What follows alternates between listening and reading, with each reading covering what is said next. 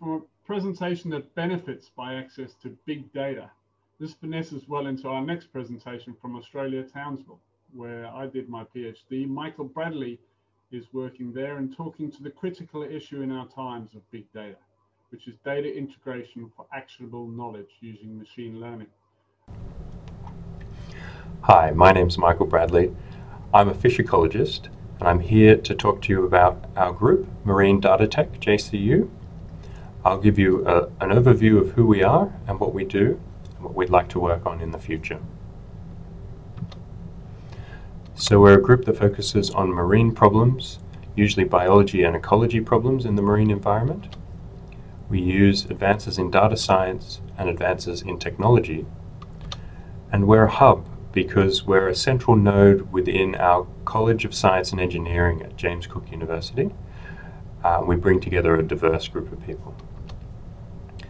And we're really all about creating actionable knowledge. So, not just using uh, advances in technology to produce new information, but producing information that's robust, that's useful uh, to take actions in the real world, such as managing marine ecosystems.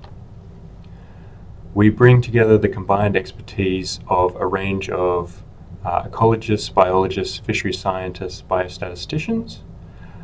Uh, the group is nominally led by these, these individuals, and we connect and work with a range of information technology, uh, Internet of Things, data science, and engineering uh, experts.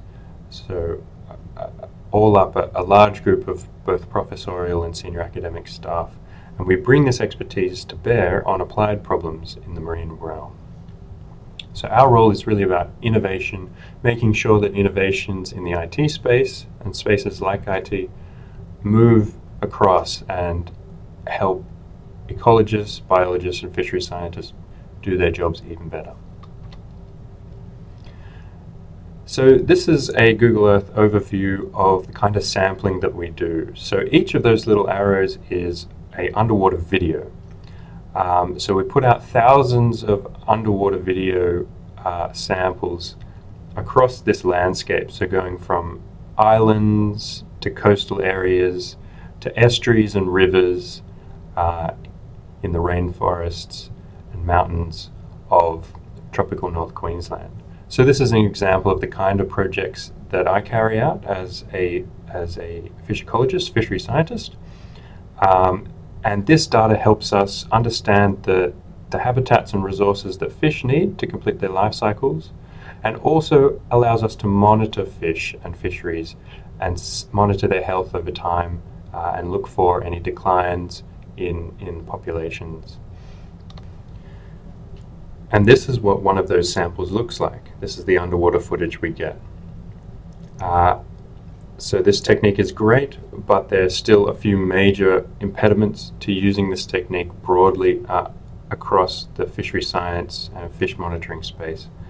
One of the main impediments is the sheer volume of footage that you end up with. While we like to take thousands of samples, produce really robust data, uh, we end up with a huge amount of sample processing time. So that's one of the first issues we tackled as a group. Um, was trying to remove this sample processing time burden.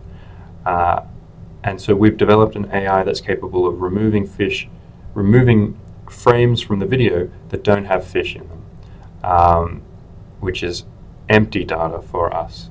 So here you're watching the 10 second highlight reel of a 30 minute video sample. Um, so we've been able to process that, that video footage much faster.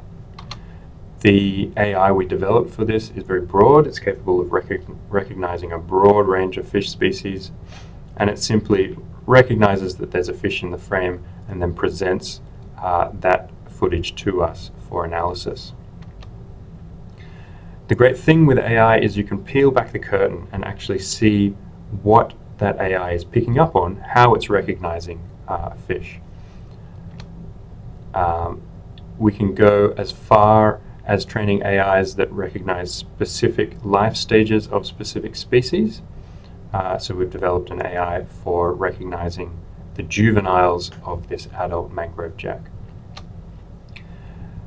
And this is a major, another major issue that AI can solve uh, in using this technique. So we end up with uh, consistent species identification rather than uh, the observer bias that comes in when using human viewers, and, and, especially when using a range of different human viewers to process footage that might have different biases. So there's always going to be bias, even when using AI to process footage. Uh, the difference is you can look at that bias, understand it, quantify it, uh, and then account for it. Here's an example of our AI picking up a juvenile mangrove jack in this footage. Uh, so we're able to process large volumes of footage looking for this one species, and it's usually able to perform even better than a human viewer. As you can see, this species can be quite cryptic and hard to see. And there are a range of other things you can do uh, to advance the use of video uh, for fish monitoring, uh, such as counting, automatically counting uh, fish. Um, what we've done is we've taken the footage we use to make these these networks and made them publicly available. So that that is now a publicly available image library um, known as DeepFish, and it's a realistic image library. So it's footage that is from these difficult environments to work in, um, in the marine environment, a, a, diverse set of conditions, a diverse set of fish species, and lots of movement uh, in the water. So this is publicly available on GitHub, this image library, um, and we're hoping that it can be used by others to train and test models for how they will actually operate uh, when used in the field for fish monitoring. It encompasses a range of environments from mangroves to reefs, seagrass, kelp beds, um, those, those typical environments of nearshore coastal uh, waters. Our key needs for progress in this space are sort of two pronged. Um, we would like AIs capable of recognizing the whole suite of diversity of fish species uh, that occur in the environments that we work in, and that can be up to 2,500 different species. Um, and on the other hand, we need simple AI that can operate on low power devices. Uh, my colleague Kurt uh, will take you through one of our projects uh, using AI on mobile devices, which at the moment uh, have to be, those images have to be processed in the cloud, whereas ideally um, we can create powerful AIs um, that are housed within the mobile device itself. Um, another application for simple AI is the uh, enabling of AI within the monitoring device, the actual device we put under the water. So at the moment, uh, you, we go from a camera that takes video to stored video, and we process that stored video uh, with an AI on a GPU in the office. Uh, we've been developing cameras that take the footage straight to an AI. That AI sorts the footage and then only stores the important bits of video, those those highlight reels that I was showing you before. And this drastically increases the capacity of these devices. So instead of only being able to put these monitoring devices down for an hour, we can now put them down for something like 16 hours. Um, and this is a really exciting space uh, to be working in actually improving the technology um, and improving our capacity to monitor these environments for fish. So thank you all uh, very much. I'll be keen to take any further questions. Thanks very much, Michael. And uh, as anyone's dealt with big data before knows, it's, it's not easy. I mean, even to run this event, getting all the videos and making sure that they have been moved between drives and, and, and ready for Ricardo to use was a task. And that, that's just 30 or 40 videos. So it's great to see people working on the bigger questions of big data, such as what uh, Michael's team is doing, where they're taking us away from place-based data and, and starting to develop systems-based data, where they're following from range to reef and using information, trying to integrate that. So you can imagine the, the, challenges that come and I think that that's where my question comes to you. What were your major challenges in dealing with your big data? And then secondly, give us a little bit of an indication where when we started to, for example, do the Shark Beta app, which went onto a phone, the design of the app, which you would imagine would be something that you could sort of do a picture board, storyboard, and then get it written up in code, was actually quite complex, much more complex than you can imagine, because it has to be intuitive to the user, but it also has to enable some of the technology behind it. So whether they're going to capture images and work on it later when they have internet access, or as you pointed out, some simplified mechanisms.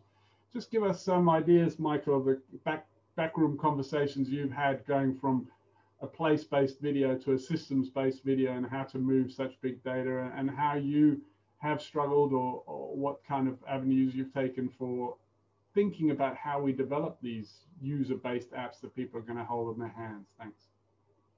Thanks, thanks, Kim. Um, that's a great question, and I'm I'm very excited to be part of this conversation. Uh, I think my experience has been um, over the past few years moving from a a solo researcher who would carry out my particular project uh, to working with a large team, uh, and in doing that, um, finding that those connections and collaborations are really vital to solving all these challenges. So I'm an ecologist. I don't have the expertise to, to handle a, a lot of these different problems that face that face us. Uh, and so in, in, in working with a, a, range of different experts, I think that's, that's been really, really critical. Um, so, so working with engineers, um, working with IT professionals, this has been um, the, the, the, key thing that our group has done is, is connecting these people together to, to have these conversations. Uh, so I guess in answer to your question, um, yeah, we've, we've moved from moving things around on, on large hard drives and sending, sending you know, hard drives in the post across uh, countries um, to, to trying to uh, thin down what needs to be sent uh, and then shifting it up to the cloud. So at the moment, we're working with a, a phone-based application for monitoring um, market fish species across the Pacific. Uh, and something that's been really critical in those um, in, in, that uh, project is allowing data to move from the mobile device back to our servers um, in tiny, tiny packets. And so I'm not a software engineer, uh, so I haven't been involved in doing the, the nitty gritty of that, but it's been a key innovation is to allow this data to trickle through uh, in small packets under low connectivity um, circumstances rather than waiting to, to, put it all on a big drive and then wait months for it to end up in the right place in the right country to do that processing. Thank you. Matt, do you have a question for Michael? Yeah, um, fantastic work, Michael, and a really sort of broad spectrum that you're covering there with your presentation of, of from mobile apps to IoT underwater. And I think it's important to highlight, isn't it, the, the, the low cost of a lot of that IoT technology uh, and a you know a simple Arduino board or Raspberry Pi perhaps with a, a, a camera attached to it, uh, and how accessible that is uh, for anybody with a bit of technical knowledge, in fact, to download some code.